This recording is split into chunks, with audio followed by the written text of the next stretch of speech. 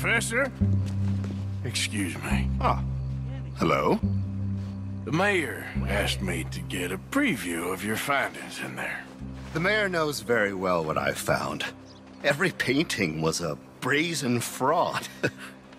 That's a big claim. One that's gonna upset a lot of people. Myself included.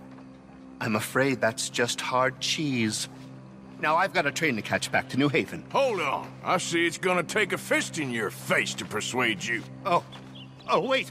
Wait.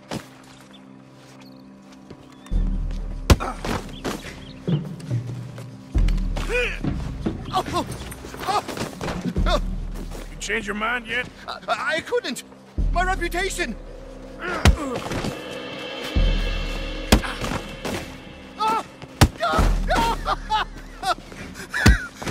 How about your reputation now? I, would never be published again. Ah, shit! I relent. I relent. There! You see, Professor? An academic reputation is really far less important than a broken nose. Yes, sir. I, I, I see that now. The thing is, now people are gonna look at those paintings and love them. So you're helping people, really. I- You know I'm right, Professor. Please, not get me upset with you No, again. no, no, no, no, sir. You're right. You're very, very right. So you're gonna send the mayor what he needs. Um, Because otherwise, I'll be in New Haven.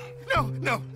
We don't want that. Of course we I'll don't. write my paper this evening, sir. Very good, Professor. Very good.